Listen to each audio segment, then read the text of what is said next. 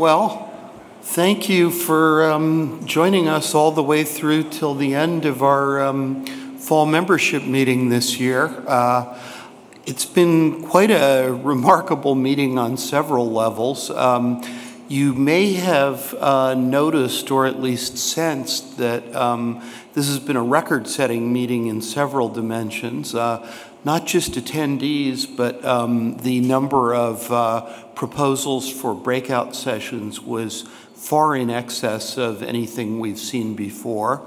Uh, we, in fact, had to um, turn away a number of breakout sessions, although I hope you feel we did well with the uh, core of them that we, um, we offered to you at the meeting. Um, it was certainly a um, the largest response we've ever had to uh, the executive roundtable uh, that we held on um, digital, supporting digital humanities at scale. Um, and uh, I'm just delighted that all of you could uh, join us for this event. Um, I've got a couple of things I want to do in this session. Um, first, I want to say a couple of thank yous. Then I want to say, uh, fill you in on something and say a little congratulations. And then I want to spend about an hour sharing some observations on themes and th events during the past year and how those are shaping and influencing some of our thinking about our program going forward, and to highlight a couple of specific programmatic things we will be doing over the course of the remainder of the program year. I will aim to um, be sure that we have enough time for some questions on the end and that people get out promptly in enough time to make their uh, trains, planes, and other uh, conveyances. So first, by, the way, by way of thanks, um, I'd like to have you join me in thanking the huge number of presenters we had this year. I note that not only did we have a whole lot of sessions, but a whole lot of those sessions were in fact collaborations between one, two, or three um, uh, collaborators who worked together to put together um, uh, the coverage uh, that you saw in those breakouts. That's a lot of work, and um, these are, you know, really a, the core part of our um, meetings in many ways. They're about things that you are doing collectively, you're experimenting with, you're exploring. So please join me in a big round of applause for all those folks.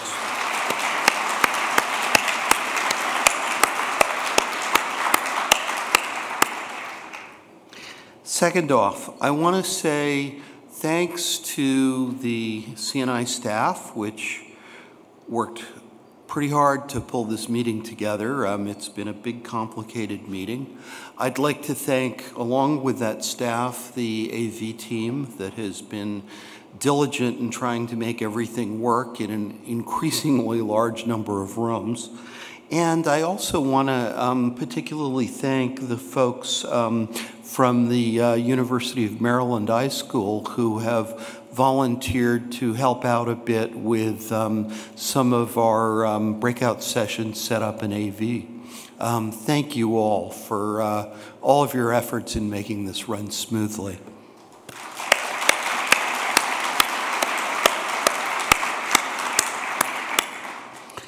And now for a little congratulation. Um, many of you knew Paul Evan Peters, uh, the founding director of the coalition.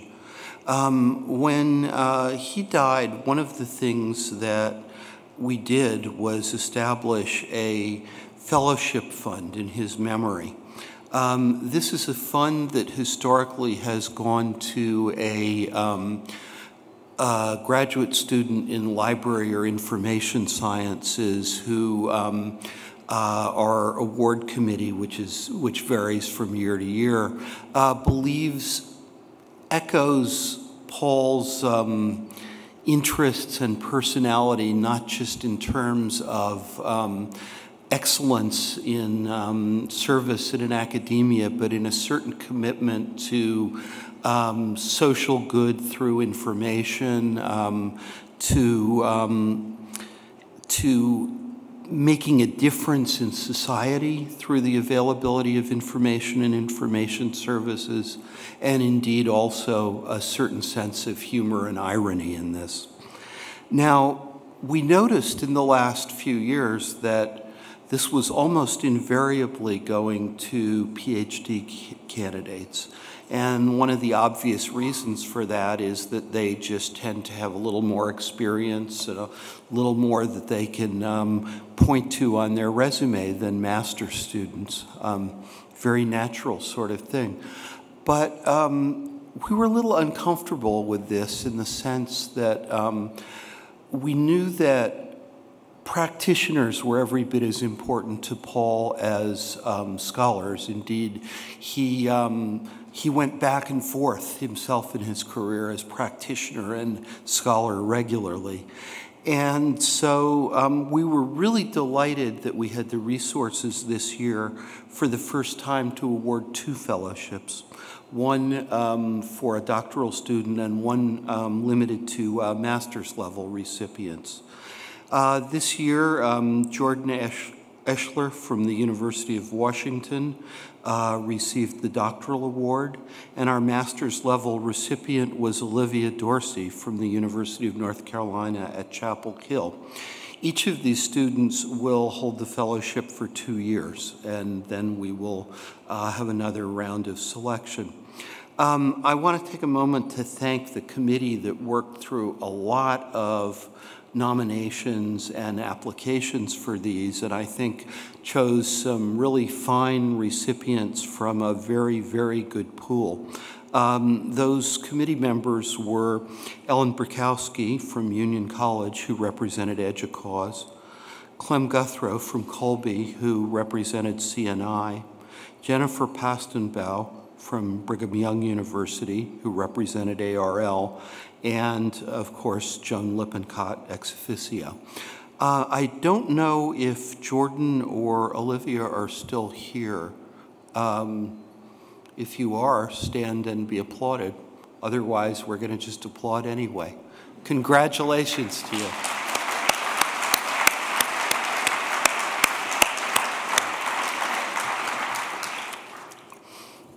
Okay, let me get on to the main uh, part of the program.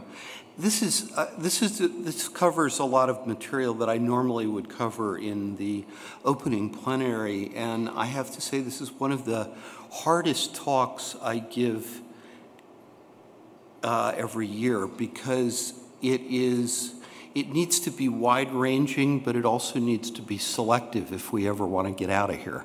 Um, there are so many things happening now that are so interested and so complexly interrelated that um, it, it is really hard to thread the landscape. And so I'm going to make some observations, tell a couple of stories, and I am going to try and be selective. So if uh, your favorite key development isn't in here, think a little bit about how it connects up to the ones that I am nominating before you and um, uh, uh, how it might fit into this kind of broader program.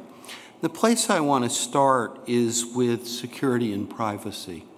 Um, these have become absolutely pervasive kinds of issues. You saw in the opening plenary how much um, concerns about um, uh, security and privacy, particularly security, um, interplay with these notions of moving services onto the net and depending on remote organizations and remote uh, facilities much more than we have in the past. It's very important to realize that security and privacy are really separate things, although interrelated in complicated ways, and that privacy itself has become a very complicated, uh, multi-headed thing. Historically, a lot of it was about privacy from the state. Some of it was about privacy from one's neighbors. Now there is a vast, vast commercial enterprise in trading information about you, and some might argue uh, systematically avoiding, uh, invading your privacy. Um, those are different problems that call for different solutions.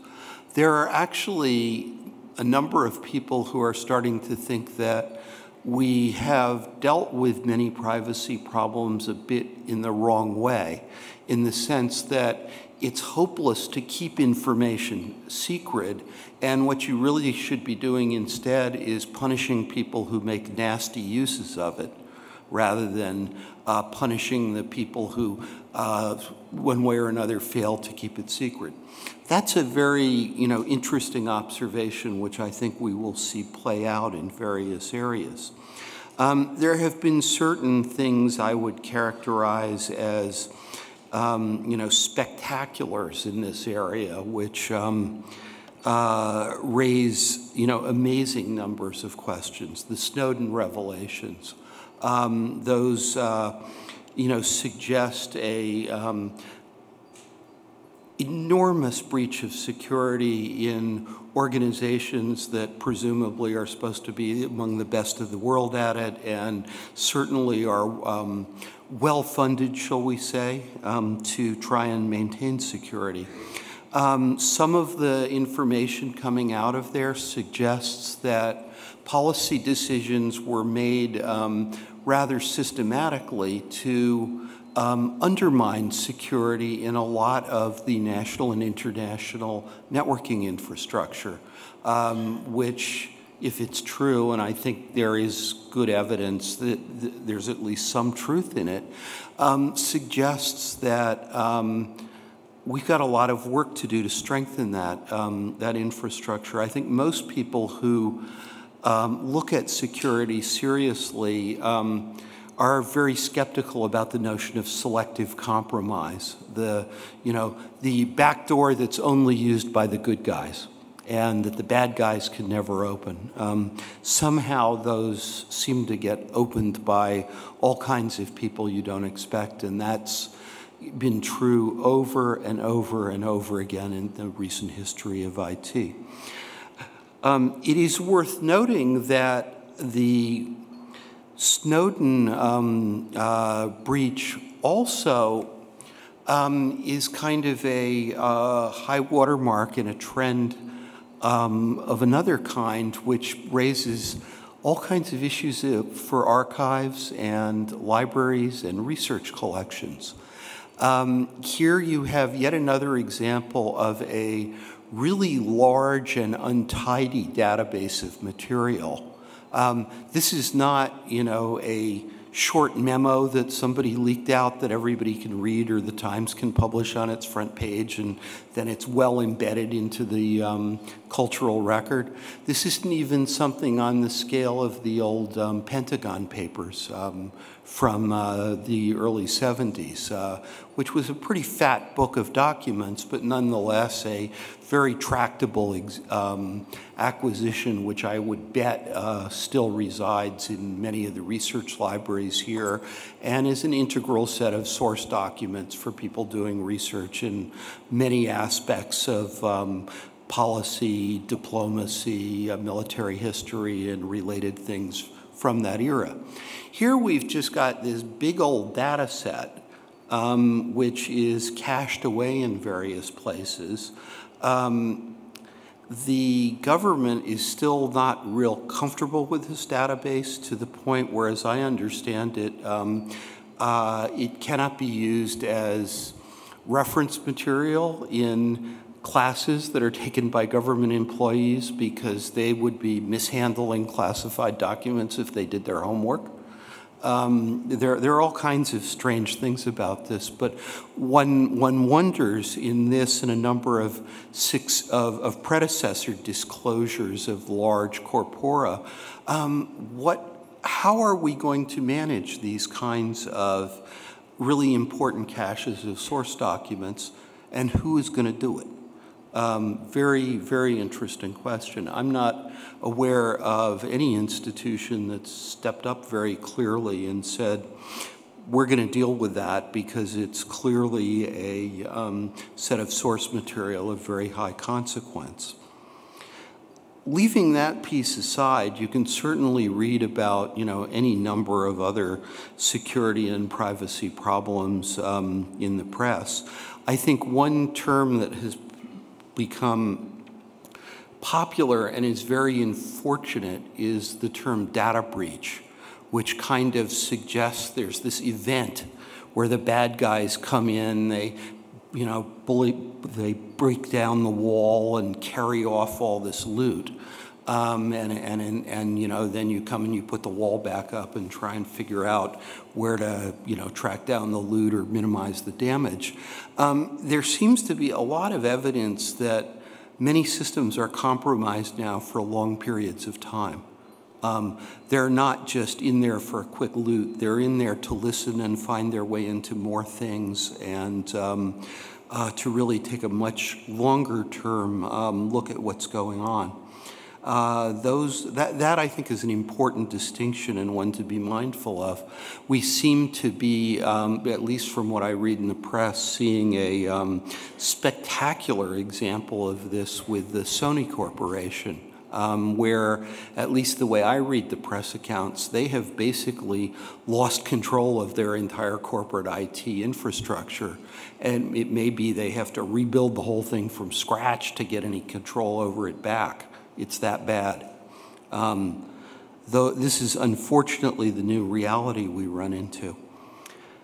I don't think that anybody has, you know, magic answers about security and privacy, but I think that just as folks like the Internet Engineering Task Force, in light of recent events and the new threat environment, are kind of taking in inventory of a bunch of design cases and choices and going back and dealing with things that were too much trouble to get right the first time, uh, reassessing um, uh, uh, the strength of various algorithms and things, that we need to be doing this in our communities a little more um, systematically than we have. There's been some very good material coming out of EDUCAUSE's joint security efforts with, um, uh, with Internet 2. Um, but uh, much of it is, is fairly broad-based. Uh, I think we have some particular issues about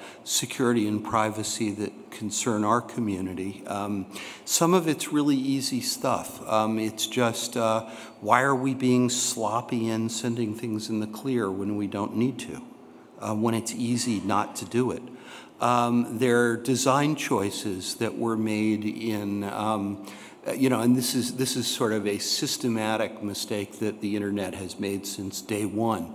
Um, this underlying assumption that it's kind of a benign world out there, that who would bother to do this? Um, just as one case in point, it came to my attention recently that um, the whole um, infrastructure around the protocol for metadata harvesting who would want to masquerade as a repository and uh, inject bad data into um, the various harvesters there?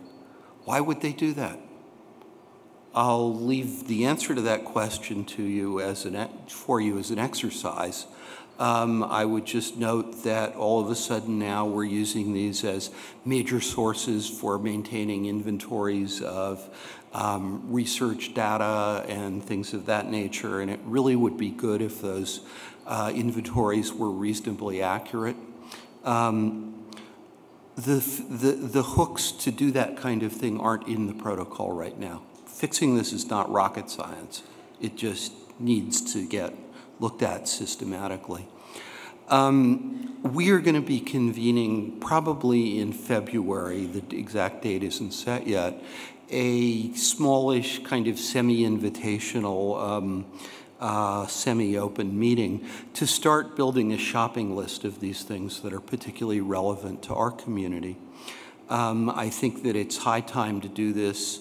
A lot of this is easy and um, it, it's just appropriate to focus some attention on this. Um, there are two things that I would further note in this area that I think are harder and more painful to deal with. Um, and I don't know exactly what we do about them.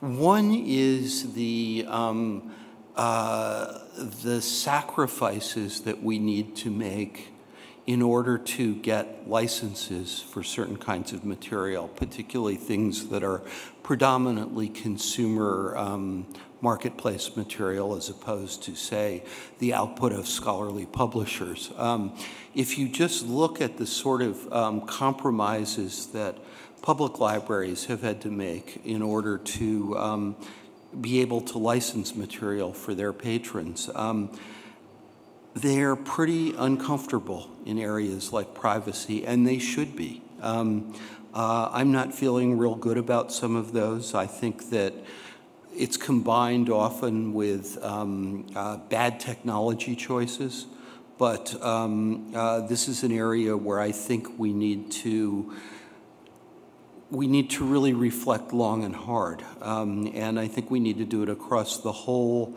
culturally me cultural memory sector. The other thing, the last thing that I put on this agenda around privacy and security issues, um, or perhaps this call to build an agenda more accurately, um, is levels of assurance. Um, levels of assurance is basically an idea that says, you know, how rigorous do you want to be with evidence in trusting someone?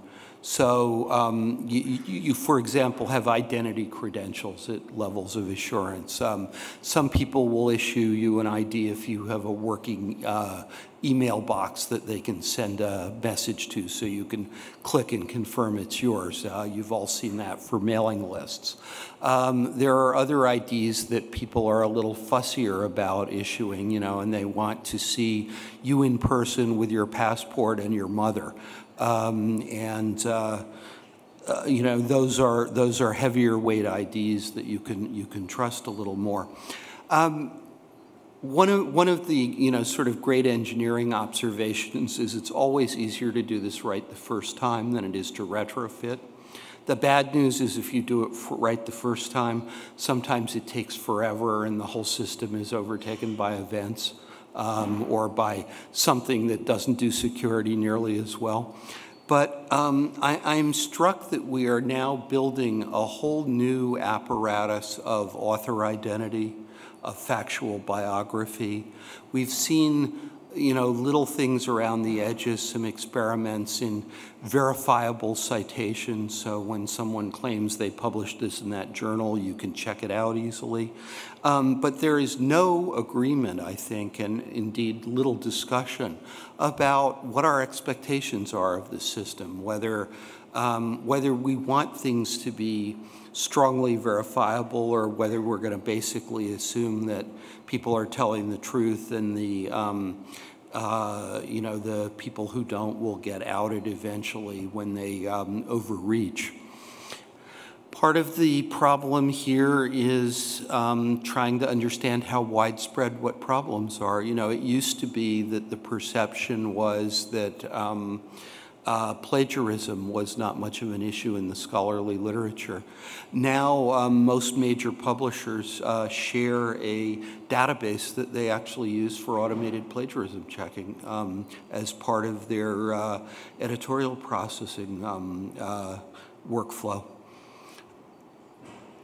what do we believe about this new world of um, you know, factual biography and author identity? Does this need to have a high level of assurance, or um, are we just going to assume that basically almost everyone is friendly enough um, to, uh, that we should we should take them at their word? So those are a few places specifically around security and privacy that I just want to take note of. Um, I, I, will say that particularly in the commercial sphere, it is stunning how much we don't know about how personal information is passed around and resold. Um, and uh, um, there's a lot of work to do just understanding what's happening in that area. I will come back a little later to just one more aspect around privacy and security in the context of human subjects and research data, but bear with me as I uh, push on here. So another clear trend is that um, we are really genuinely pretty serious about research data management at this point. Um, we are still waiting eagerly and um, I think with growing impatience for some of the policies to come out of the federal agency, funding agencies that actually tell us what the ground rules are going to be in implementing the uh, OSTP directives about access to federally funded research outputs. But meanwhile, um, in the kind of broader context, we're seeing a um, genuine focus on data, data sharing. Big data is, you know, one of the fashions of the month. Um, uh, many of you probably had an opportunity to see Phil Bourne here in the one o'clock slot today or in other venues. He was appointed earlier this year as the first um, assistant director for data science for the whole National Institutes of Health. And I think um, the creation of that role was a, um, you know, another underscoring of how important they are recognizing um, data management and research data to be. Um, and they, of course, are, you know, building on a long and um, visionary history that goes back to the uh, work of um, particularly the um, National Library of Medicine in um, the 1970s and beyond. Uh, but you're seeing this in other government agencies. You're certainly seeing this in business. Uh, one of the uh, developments I've watched with considerable fascination is um, city governments getting very interested in big data to run better cities, and the emergence of a series of um, academic centers in what I could only describe as urban informatics fundamentally that are working in close partnership with their host cities, uh, both in the United States and abroad. I think there are um, some very, very um, important things that are starting to happen there. Uh, share, I think now, um, which is going to be, from my point of view, um, I think kind of a backbone inventory and analytic tool for um, understanding um, research data responsibilities within the research and higher ed sector, I think now has got a relatively clear vision of where it's heading and um, is starting to move along. I think that will be significant. There's still so many things that we aren't coping with very well in this area, though. Um, data involving human subjects continues to be a huge problem, and I'm not sure we have got an effective conversation framed yet between those who come to the issue in terms of human subject privacy and dignity protection and those who come to um, it from the view of what we can achieve if we can genuinely share and reuse data very freely. Uh, we're looking for ways to advance that conversation. But I want to tell a story that um, I keep coming back to and turning over in my mind because um, uh, it's just so amazing at so many levels and it illustrates a number of fault lines that are developing here. We've talked a little bit before about how there's a whole sort of alternative universe of social science that's evolving out there in the commercial sector. Um, people doing experiments and studies that you could never get away with inside a university, but nonetheless studies that I think um, they sleep well at night having done and where they have been genuinely re respectful and thoughtful about privacy and impact, just not framed the same way that our traditional IRBs in academia frame them. So some of you probably know the story, but you should all know the story. So sometime earlier this year, I think it was late spring or thereabouts, the Proceedings of the National Academies of Science publishes a paper now, this is a paper that is jointly published by um, some researchers at Cornell and some folks at Facebook Research. And here's the basic idea, if I've got it right, at least in a nutshell. There is this theory um, called emotional contagion, and sort of the short version of this is that if your circle of friends keeps telling you depressing stuff all the time, you will, you will probably tend to reflect depressing stuff back to them. Um, there's a there's a sub theory that says that some people flip the other way and get um, aggressively cheerful when surrounded by depressing stuff, but they're, they're sort of outliers. So th this is the general um, theory, and someone came up with a brilliant idea that, hey, we could test this on Facebook. And actually, we could get a pretty big, the, the speculation is that it's a reasonably subtle effect, so that um, in order to get a big enough sample size to tell you much, um, uh, uh, you got to get a lot of people in the in the experiment.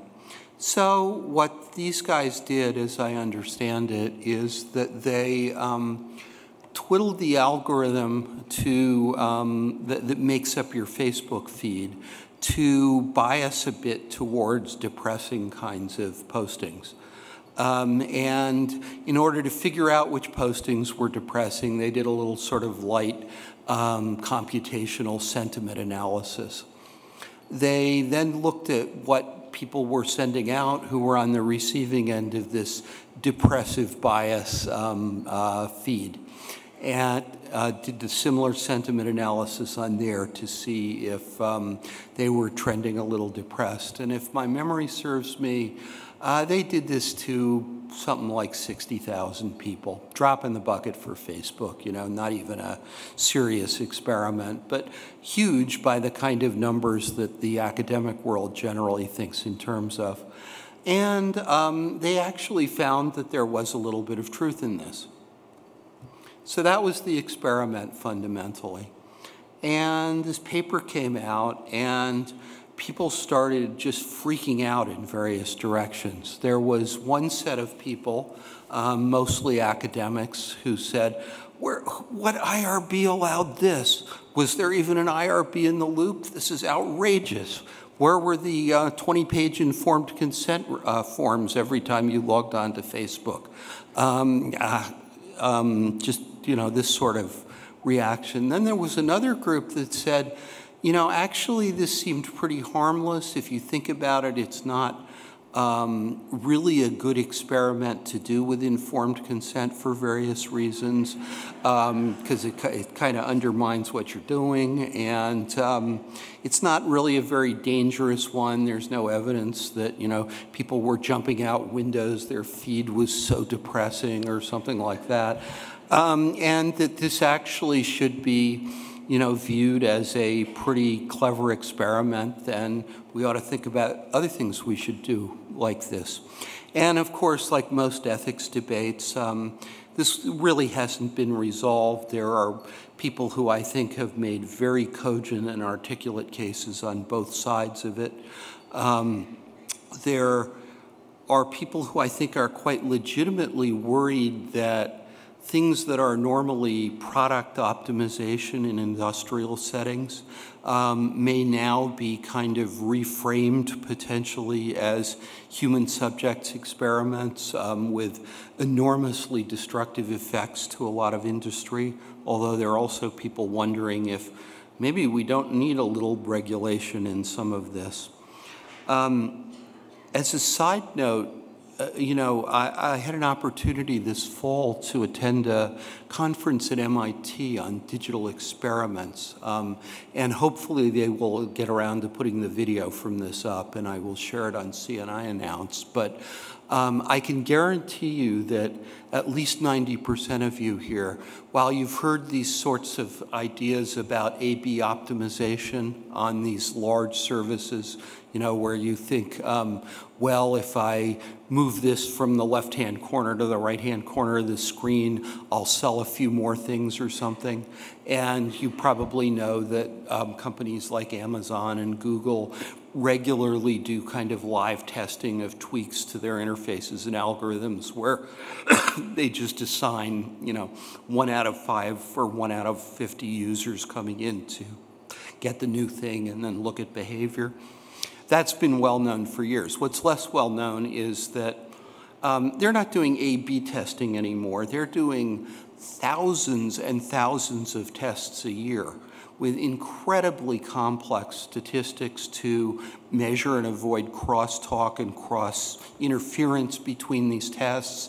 They run these tests for very, very long time, sometimes looking for um, uh, pretty um, low-level effects, which, if you add them up over the scale of the system, turn into real money in the course of a year. Um, you know, it doesn't take much um, optimization to uh, make 20 or 30 million dollars a year. Um, this, this is way down in the decimal points. Um, so there's a, there's a huge industry in this, but um, here's the part of the Facebook thing which surprised me the most and, and worries me the most in some ways. Um, there were a lot of unhappy people who were Facebook users. And the reaction there was, how dare you mess with the Facebook feed algorithm? Why that, you know, was handed down perfectly um, somewhere in the distant past. And they don't understand that actually, you know, there are a thousand engineers at Facebook who are fiddling that algorithm and running 20 different versions of it every day.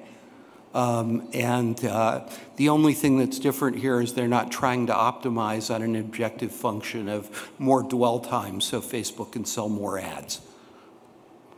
Uh, the, it, it, appears that, you know, one of the things that this incident really put a spotlight on is how little people understand the extent to which their interactions with all kinds of things are shaped and personalized by algorithms in random and non-repeatable ways. Um, this popped up in another context recently. I had an opportunity to join a discussion that was hosted by the Reynolds School of Journalism out in Columbia, uh, Missouri, on preserving the news. And um, one of the things that people don't realize is how personalized news has become.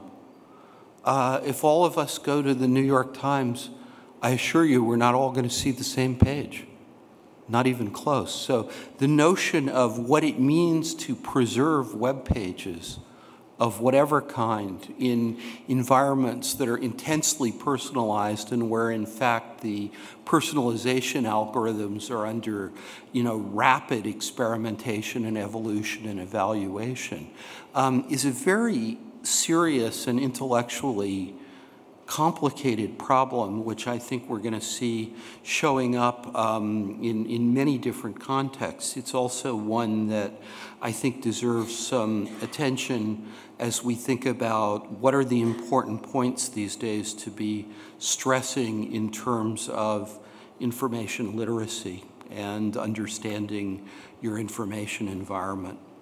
So, um, you know, that incident, I think, begs a hundred things. It, it, it asks questions about reproducibility of results. It asks questions about what's appropriate ethically, um, where business trade secrets fit in. Um, it, uh, it raises questions about what kind of evidence we should be collecting to support future research in these areas. Um, I think it's a very salient kind of example of some of the challenges around big data research.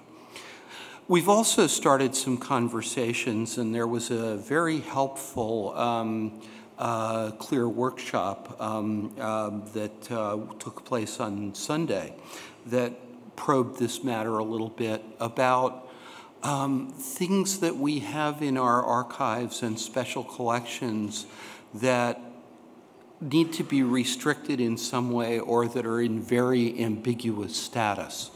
Um, very good examples are materials collected, let's say, before 1900, where certain uh, present day norms about collecting data, um, how to do anthropology, things of that nature, simply weren't in place.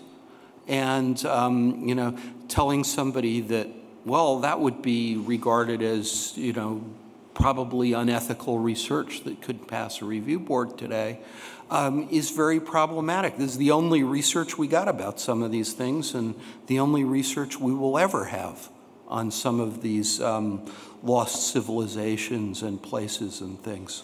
Um, we have to talk about these things and what to do about them, um, no matter how awkward it is. And I was just thrilled to see that complex of issues starting to surface.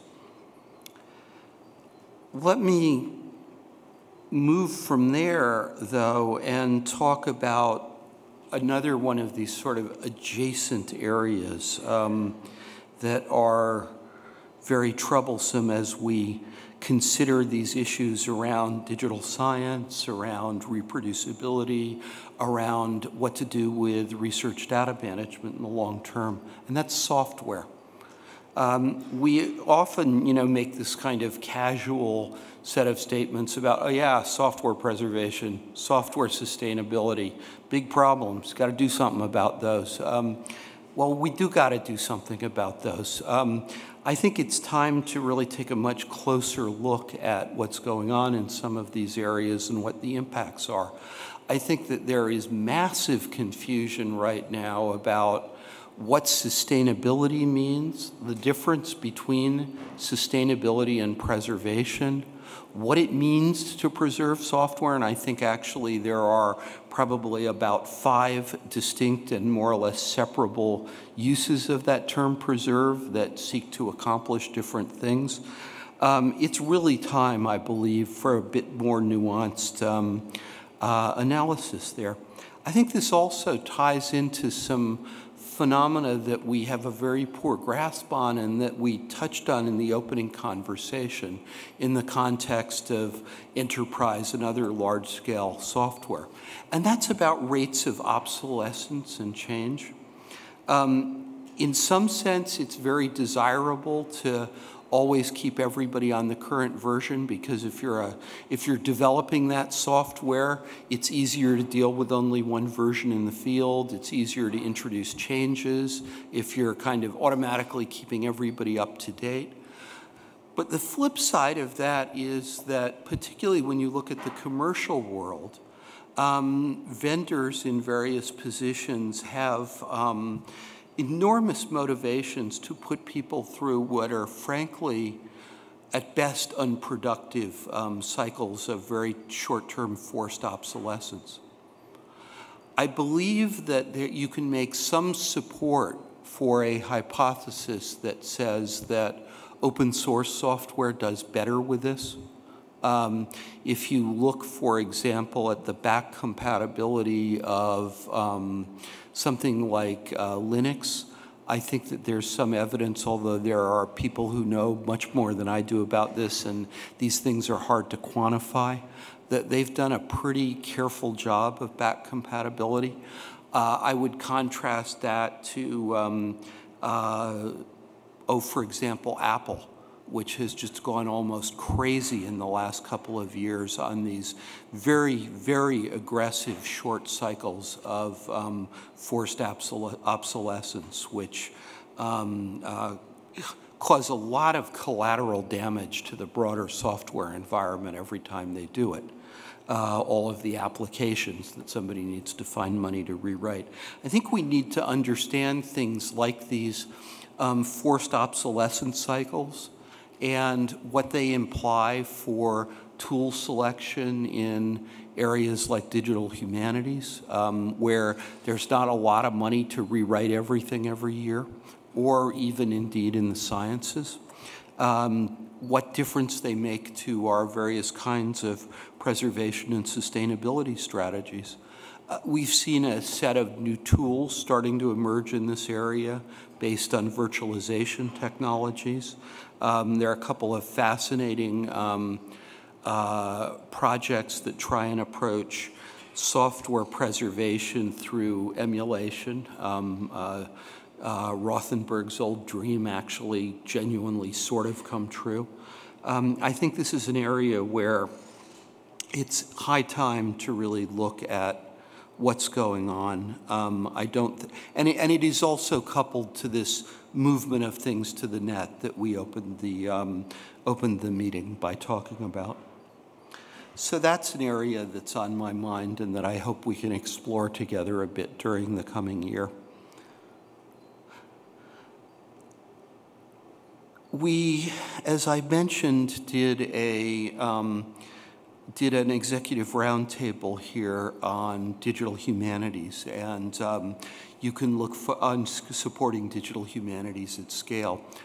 You can look forward to a report on that sometime in the coming year. And um, I do want to note that we just launched uh, shortly before this meeting quite a deep set of um, web pages that go with a summary report that was included in your packets dealing with the role of digital scholarship centers, which is something that Joan Lippincott has been leading an investigation of for some time.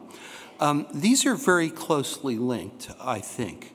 Um, it seems clear that various kinds of diffusion and support centers, um, digital scholarship centers, more faculty-oriented and disciplinary-oriented um, uh, digital humanities centers in some cases, um, these are all important mechanisms for diffusion of information about technology and methodology among faculty. Uh, they seem to have a particularly key role in um, digital humanities, although their use now is extending much wider than that in some cases. We're going to be doing some follow-on work there, I believe, in the coming uh, program year.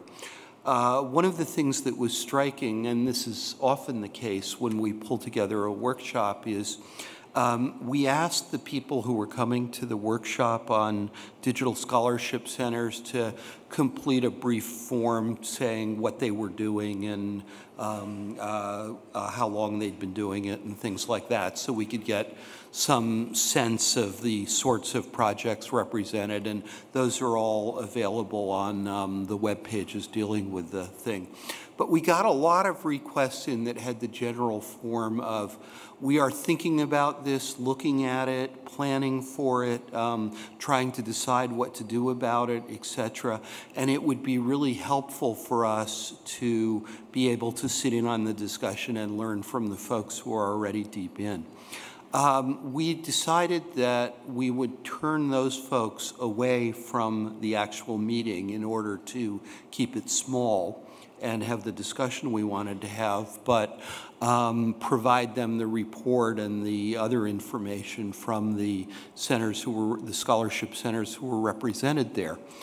Um, and I think that will be very helpful for those folks. But there seems to be a good interest in a good deal of interest in going forward and looking at some form of workshop that is for institutions who are trying to plan such a, um, such a center to um, try and help them identify the key choices and planning parameters, the success factors that have worked for others and things like that.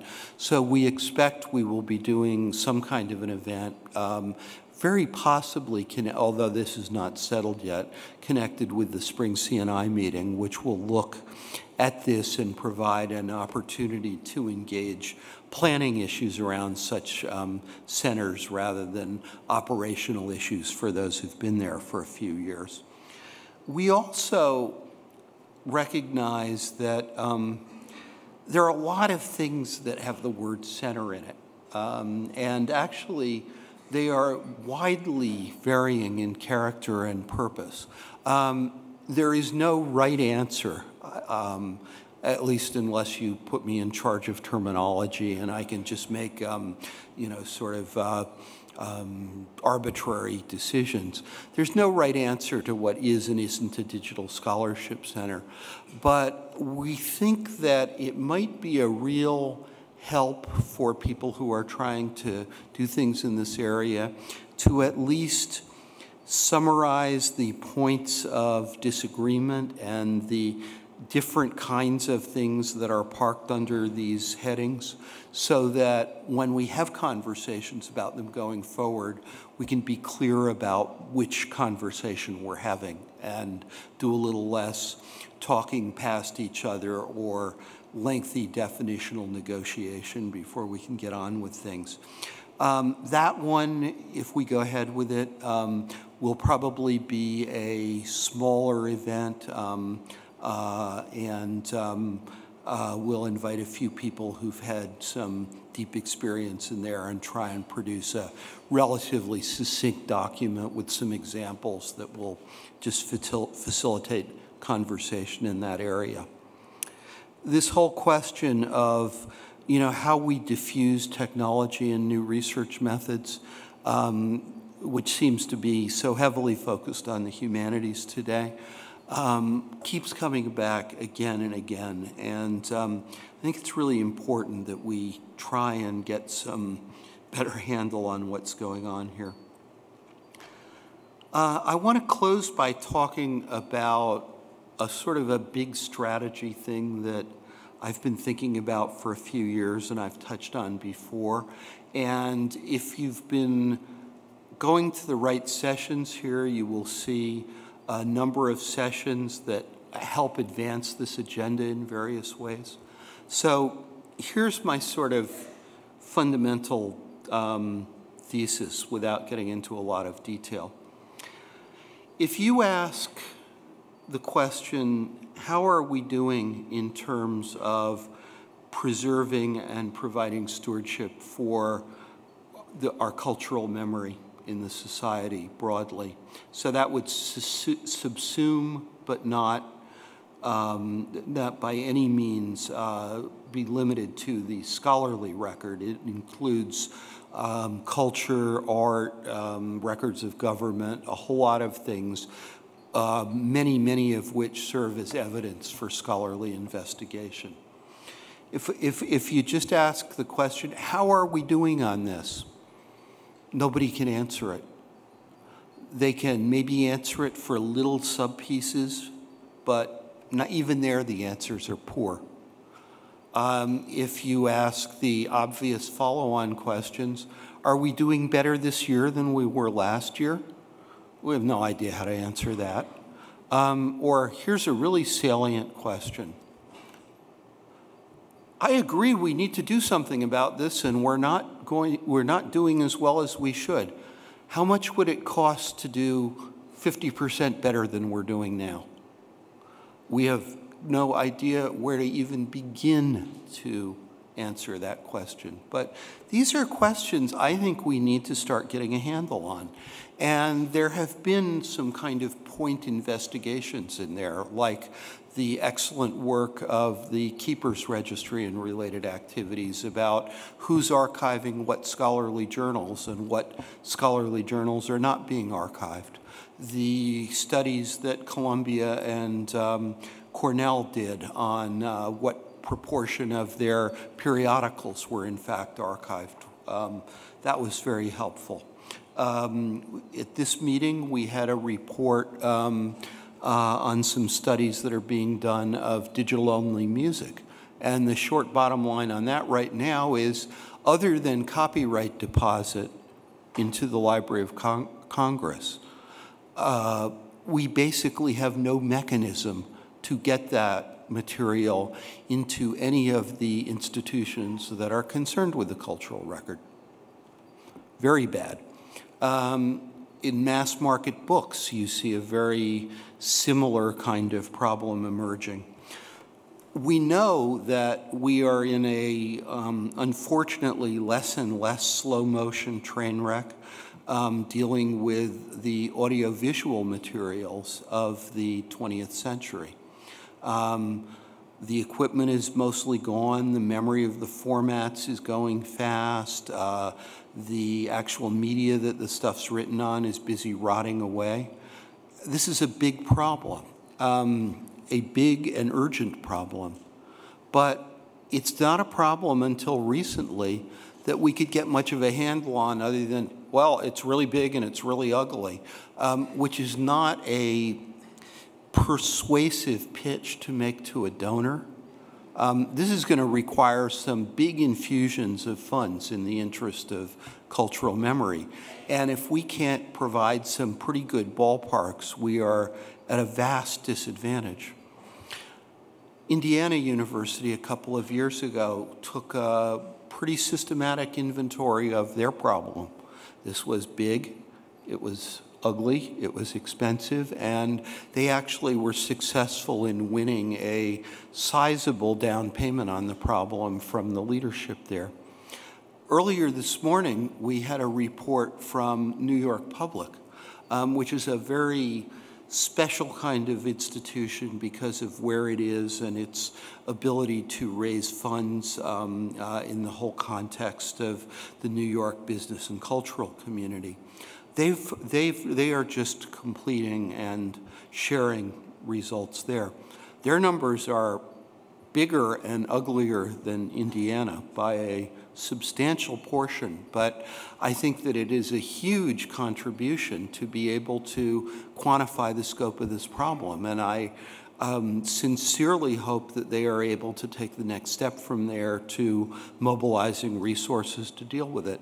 At the Q&A in that session, um, other institutions indicated that they were starting to uh, move on this front. And actually, one of the good things that's starting to happen now that we have a couple of stakes in the ground is some of the methodological work is more stable. So um, uh, getting, to, getting those surveys done is getting a bit easier those give us some sense of um, the scale of the problem in various areas. Um, the work that OCLC Research is carrying forward um, at, for example, their workshop tomorrow on the evolving scholarly record and the boundary points around there.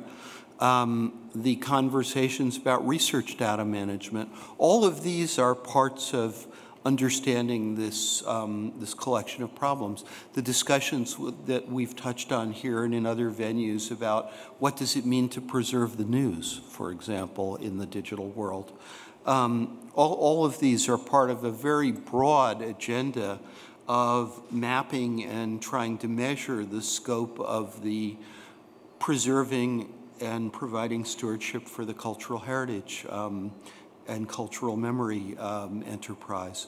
I hope that in the coming year, we are going to be able to feature some more important sessions there, draw your attention to other work that's taking on, that, that's going on in that sphere, perhaps identify some additional um, uh, problem areas that could use some attention. Um, uh, NYU has done some very good work in recent years about um, the, the video industry, consumer video of various kinds. Um, I suspect there are horrible things waiting to be discovered if we look at video games of various sorts, and there have been some preliminary uh, investigations there, although I think they, they, have probably been more focused on the difficulties of handling individual video games as opposed to um, dealing with this problem in the large.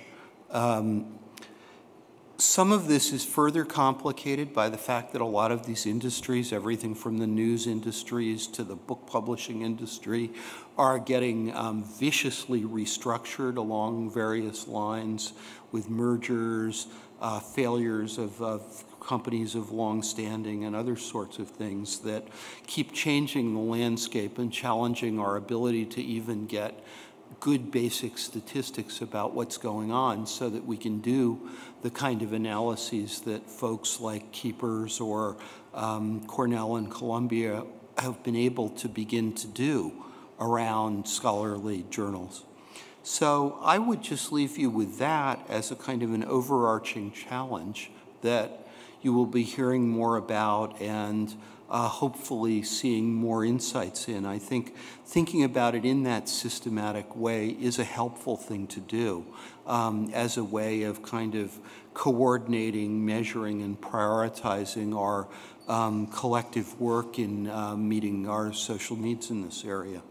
So those are some of the things I think you can expect to see increased function and in some cases some specific actions on uh, from the coalition working, of course, in partnership with many other organizations and ultimately, of course, in partnership with our members uh, to advance.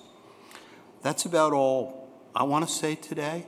I would be very happy to take a couple of questions on our program going forward, things we have been doing, things we've not been doing, or thoughts on other developments that we haven't touched on. So thank you for listening, and the floor is open.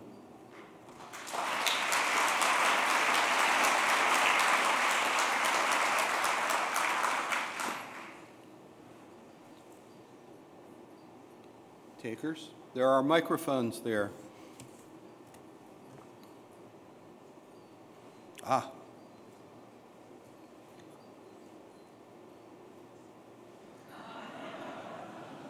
Ah. Oh, well. Thought we had a live one there. Um, no takers, really? I would have thought there was somebody in there, something in there that must have uh, worried someone. Um, okay, well, it has been a very. Go for it. Thanks, Cliff, and thanks for a, a, a great overview of the um, program for the next year. Um, in the opening plenary, um, which touched on some of the topics you just mentioned, um, there was a lot of uh, there were some questions from the audience around uh, preservation, um, some of the risks involved, and you mentioned some of those. What are your thoughts on the risks of organizational preservation related to the other preservation issues we're uh, dealing with? And then attached to that, I'd just like to know your thoughts about open source as an exit strategy uh, in association with those uh, chances of organizational failure. Um, those are both great questions. So, knowing that something is open source as an exit strategy is something that leaves me feeling better than not having it, but not a lot better.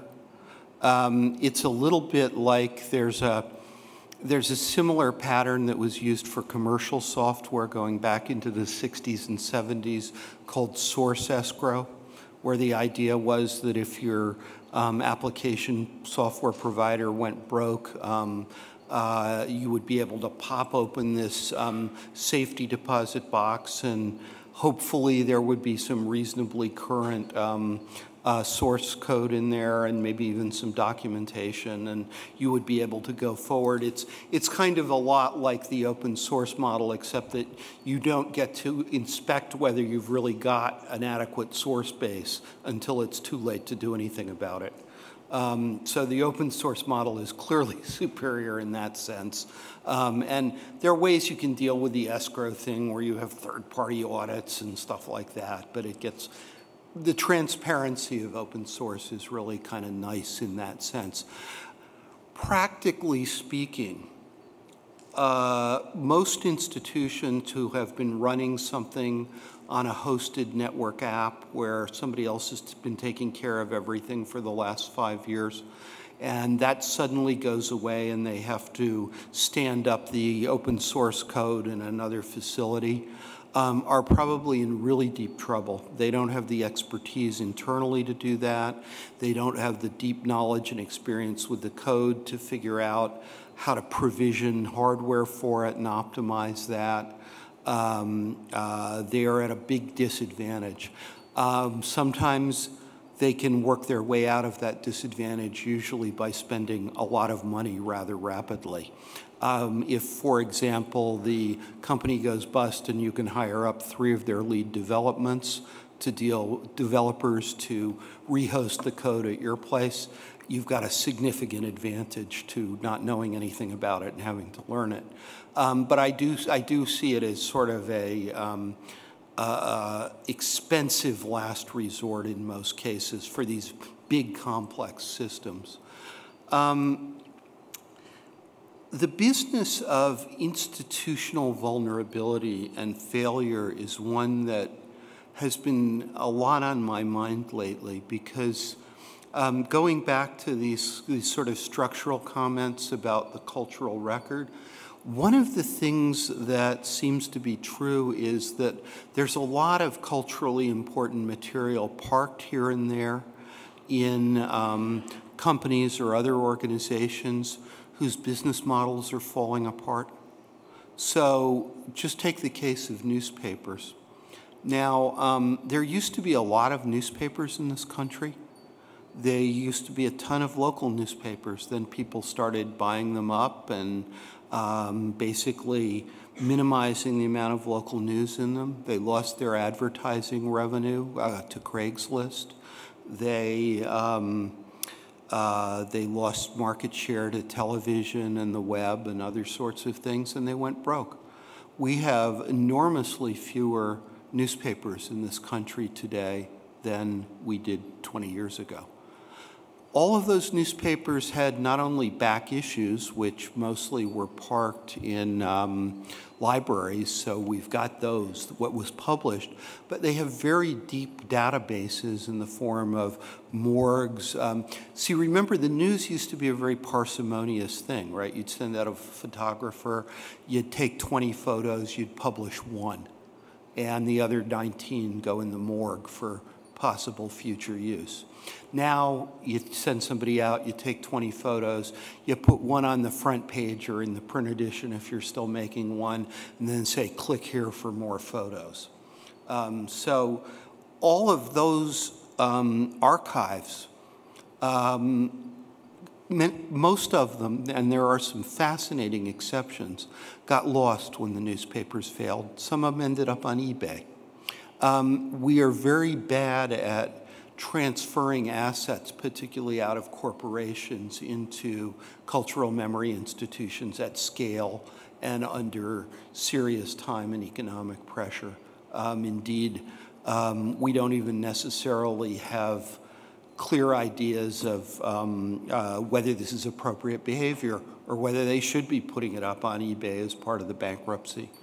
Um, and we could talk about a lot of other examples, but that's just one of them. I think this whole business of transitions of stewardship is a very, very key problem that requires some real close attention. I've been looking at a couple of case studies um, over the last year or so. Um, but uh, to me, it's starting to emerge as one of the kind of systematic challenges we face here.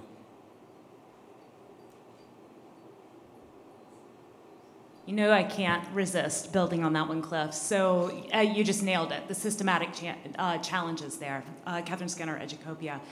With the newspapers as an example, and just probing that a little bit uh, more deeply, one of the things that that I've noted and that I've heard you note in multiple settings is how challenging it is to get the right people around a table mm -hmm. when the right people aren't all in the same field or even in the same connected set of fields.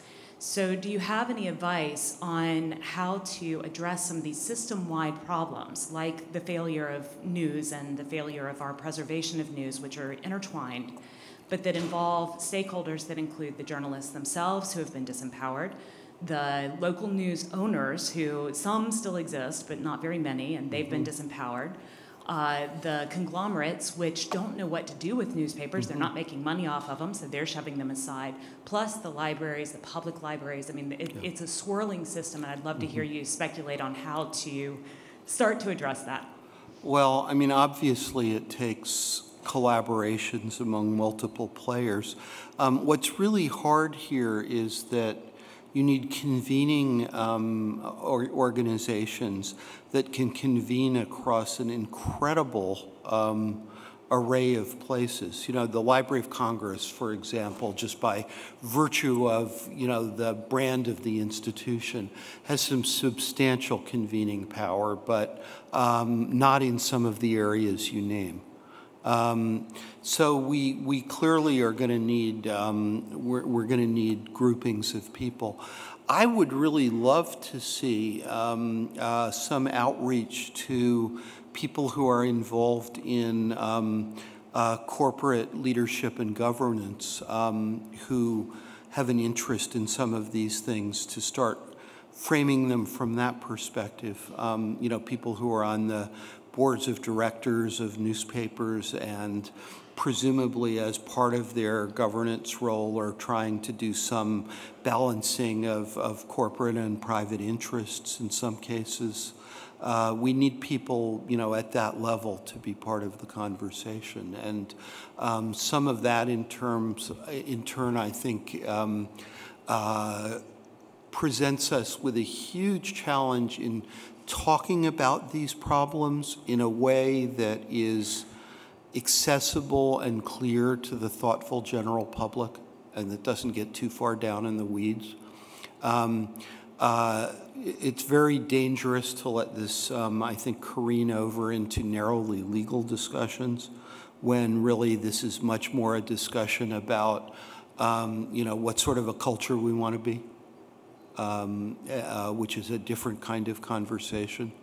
And we need, I think, to uh, really seek ways to do that. Some of them maybe are going to have to return to um, uh, some very traditional kinds of thinking about getting messages out through um, various kinds of campaigns. Remember the films that um, CLIR did in the, um, I guess probably the 1990s now, Slow Fires? Um, I think that those were, you know, quite legitimate and somewhat effective efforts at communicating some of these issues. Maybe we need to do things like that. I don't know. But um, clearly, the, the convening, the scope and breadth of the con- convening challenge here is really huge. I think people are about ready. I think planes are calling. Let me wish you safe travels. Let me thank you for joining us and thanking you for your support of the coalition. Um, hopefully, I will see many of you in Seattle, and I suspect I'll see many of you in other venues between now and April. Have a very good uh, holiday season and end of the year. Thank you.